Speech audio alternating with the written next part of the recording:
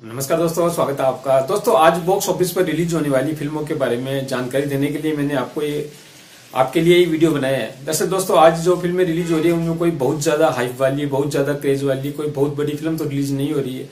फिर दोस्तों film release हो रही है, उनमें प्रमुख है आयुष्मान खुराना की फ़िल्म एन एक्शन हीरो इसके अलावा दोस्तों, ईशान खट्टर तथा मरनाल ठाकुर की फ़िल्म पिप्पा ये भी रिलीज़ हो रही है। इसके अलावा इंडियन लॉकडाउन मधुर भंडारकर की फ़िल्म है ये, जो जो भी सेलेक्टेड गिने चुने थिएटर्स में रिलीज़ की जा रही है। इसके अलावा दोस्तों ओटीटी पर एक फ़िल्म रिलीज़ हो रही है कार्तिक आर्यन की फ्रेडी तो ये कुछ प्रमुख फ़िल्में हैं जो कि आज रिलीज़ हो रही है। इसके अलावा भी कुछ फ़िल्में हैं जो रिलीज़ की जा रही है, लेकिन कुछ प्रमुख फ़िल्मों के नाम मैंने आज आपको बताए। तो दोस्तों फ्रेडी तो ओटीटी पर रिलीज़ हो रही है तो इसका तो कोई बॉक्स ऑफ़िस कलेक्शन से या बॉक्स ऑफ़िस क्लेस से कोई मतलब नहीं है। इस फ़िल्म का रिव्यू ज़रूर मैं करूँगा कि फ़िल्म कैसी है। लेकिन जहाँ तक बात करें पीपा की तो इसकी फ़िल्म की कोई हाइप नहीं है, कोई क्रेज नहीं है। बहुत कम स्क्रीन पर इस फ़िल्म को रिलीज़ किया जाना है तो फ़िल्म का कोई भी मतलब ऐसी रिपोर्ट नहीं है कि लोगों में इस फ़िल्म के प्रति ज़्यादा कोई उत्सुकता देखने को कहीं पर भी नज़र आ रही है। तो मेरे को लगता है कि फ़िल्म ज़्यादा कुछ बॉक्स ऑफ़िस पर कर नहीं पाएगी। पंद्रह से बीस लाख रुपए का कलेक्शन इसका फ़र्स्ट डे को आ सकता है। इतनी ही उम्मीद इस फ़िल्म से लगाई जा सकती है। जहाँ तक बात करें इंडिया लॉकडाउन तो ये फ़िल्म भी दोस्तों क्रिटिकली ज़रूर इसको अप्रिशिएट अप्रिसिएशन मिल रहा है और प्रशंसा प्राप्त कर रही है। फ़िल्म मधुर भंडारकर ने डायरेक्ट की है। भारत में जब लॉकडाउन लगाया था, लगाया गया था कोविड के दौरान तो उसके ऊपर ये फ़िल्म बेस्ड है किस प्रकार से लोगों को कठिनाइयों का सामना करना पड़ा था। लेकिन फ़िल्म का ज़्यादा क्रेज है नहीं, ज़्यादा बज है नहीं, लोगों को ज़्यादा पता भी नहीं इस फ़िल्म के बारे में और बहुत कम गिने चुने थिएटर्स में ये फ़िल्म रिलीज़ की जाएगी। तो इसका भी कलेक्शन नाक के बराबर ही आना है। पाँच से दस लाख रुपए, पंद्रह लाख रुपए मैक्सिमम कलेक्शन इस फ़िल्म को भी आज मिलने वाला है।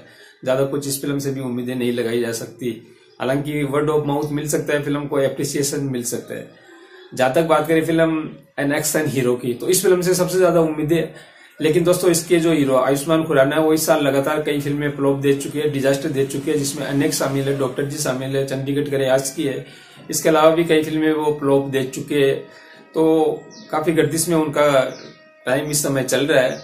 इस फ़िल्म में पहली बार वे एक्शन करते हुए दिखाई देने वाले है। फ़िल्म के ट्रेलर को पसंद किया गया है, लेकिन इस फ़िल्म की भी हाइप और क्रेज तो ज़्यादा नज़र नहीं आ रही है।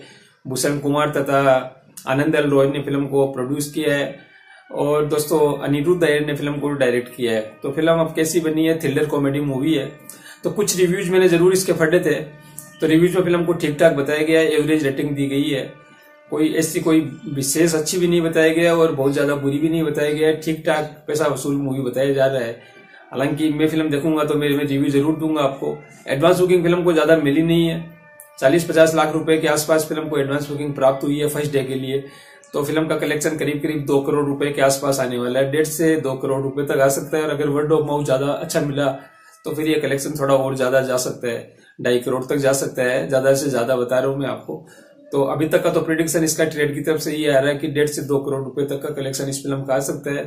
और अगर ज़्यादा अच्छा वर्ड ऑफ़ माउथ मिल गया तो फिर ये कलेक्शन थोड़ा और बढ़ सकता है। तो दोस्तों, आज का वीडियो यही है। अब जैसे ही मैं ये फ़िल्म देखता हूँ एन एक्शन हीरो है तो मैं आपको इसका रिव्यू ज़रूर दूँगा तो आप देखना मत भूलिएगा। फ़िलहाल इतना ही। चैनल पर नहीं है तो चैनल को सब्सक्राइब ज़रूर कर लीजिएगा। धन्यवाद टेक केयर